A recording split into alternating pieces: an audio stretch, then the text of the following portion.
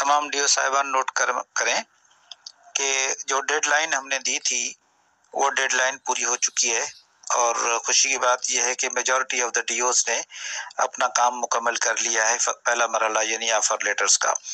मैं उन सबको मुबारकबाद देता हूँ। लेकिन कुछ तहलकाज हैं, कुछ जगहों पे अभी रहते हैं ऑफ़र लेटर्स जो कि एक दो दिन में कंप्लीट हो जाएँगे। तो अब पहले यह था कि जो भी तकरीबात हो रही थी, उनमें किसी न किसी को बुलाया जा रहा था।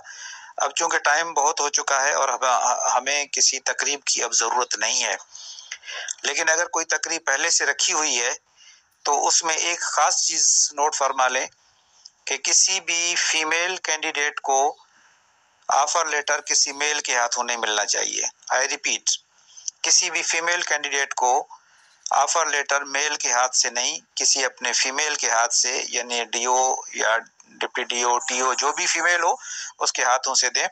और जिन लोगों ने पहले से तकरीबात नहीं रखी हुई हैं, अब तकरीब रखने की कोई ज़रूरत नहीं है, अपने ऑफ़िस में कैंडिडेट को बुला के ऑफ़र लेटर दो दिन के अंदर, तीन दिन के अंदर ख़त्म कर दें। Thank you